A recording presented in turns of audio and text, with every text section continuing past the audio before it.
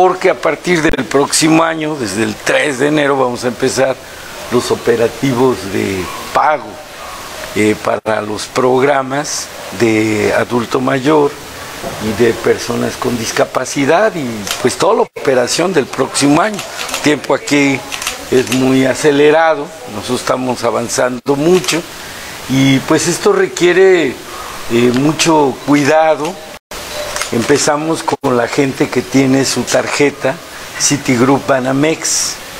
Esto es que eh, ya no se hace de nuevo contrato con ellos, es un banco que está vendiéndose y es con los que empezamos, una cantidad importante en Veracruz.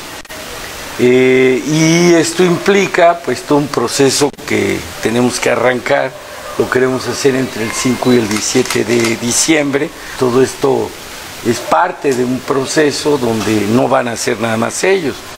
Luego vendrán los de BBW, los de Norte y en paralelo todos los que estamos también incorporando, los que no han tenido todavía el acceso a la tarjeta del Banco del Bienestar.